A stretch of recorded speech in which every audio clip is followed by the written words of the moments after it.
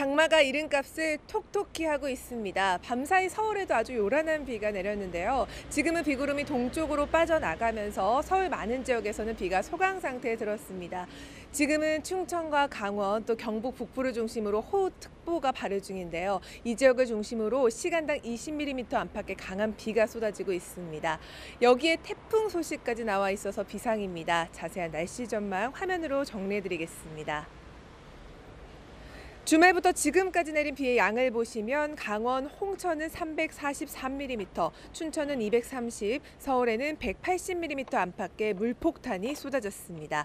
지금도 전국 많은 지역에서는 빗줄기가 약해졌다 강해졌다를 반복하고 있습니다. 조금 전 오전 5시 30분에 서울에 내려졌던 호우경보가 해제됐고요. 현재 세종과 강원 일부, 충북에는 호우경보가 발효 중입니다. 서울을 제외한 중부와 경북 북부에는 호우주의보가 발효 중입니다. 모레까지 경기 남부와 영서, 충청 북부와 경북 북부 지역에는 50에서 100mm의 비가 더 이어지고요. 특히 많은 곳에 150mm 이상 더 쏟아지겠습니다. 그 밖에 내륙에도 최고 80mm의 비가 예보돼 있습니다. 한편 태풍 상황까지 함께 염두에 두셔야겠습니다. 현재 제3호 태풍 남마돌이 타이베이 먼바다에서 북상 중인데요.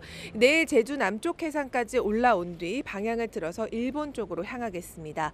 따라서 오늘 밤부터 내일까지가 영향권에 들 텐데요. 제주와 남해안이 태풍의 직접 영향권으로 들 것으로 보이는 만큼 이 지역에서는 대비를 철저히 해주셔야겠습니다. 장마 전선은 이번 주 내내 남북을 오르내리면서 영향을 주겠습니다. 목요일을 제외하고는 이번 주 내내 전국에서 영향을 줄 텐데요. 계속해서 긴장을 늦추지 마셔야겠습니다.